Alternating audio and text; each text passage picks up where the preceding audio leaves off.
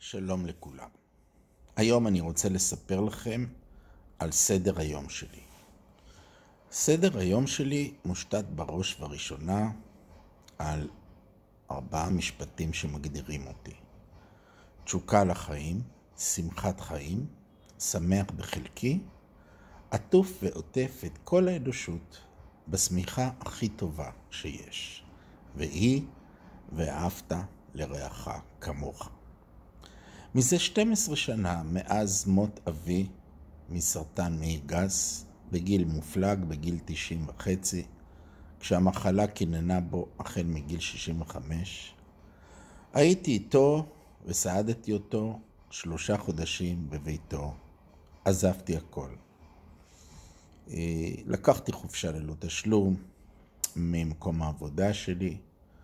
אה, לא הייתי בביתי, ואשתי והילדים ידעו היכן אני.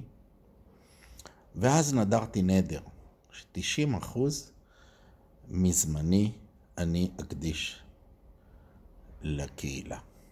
כן, תרומה לקהילה. אני עומד בנדר הזה, למרות שרבים אומרים שלא כדאי ולא רצוי לנדור נדרים, אבל אני עשיתי זאת באהבה. כן, זאת התודה שלי לאלוהים, שנתן לי את הזכות להיות עם אבי במשך שלושה חודשים ולסגור מעגלים. לסגור נושאים שהיו בינינו פתוחים, או שלא היו מובנים, או שפירשנו אותם לא נכון. זו זכות גדולה, ולכן נדרתי את הנדר. אז כשאני קם בבוקר, קודם כל אני מסתכל על המראה ומברך את אלוהים שנתן לי עוד יום לחיות.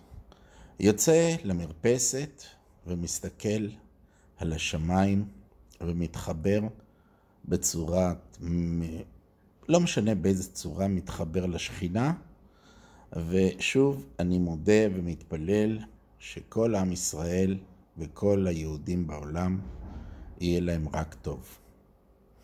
אז נתינה לזולת ללא תנאי זה ערך עליון. מעל הכל, ואהבת לרעך כמוך. עשו כמוני, יהיה לכם סדר יום מצוין. תתכננו מה אתם עושים כל יום עבור הזולת. מה אתם עושים כל יום עבור עצמכם. תשתדלו לראות את החצי כוס המלאה.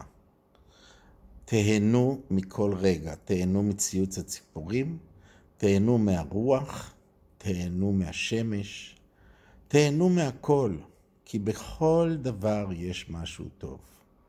גם בדברים הכי גרועים יש את הטוב בכך שאתם מצליחים להתגבר עליהם ולהתמודד מולם.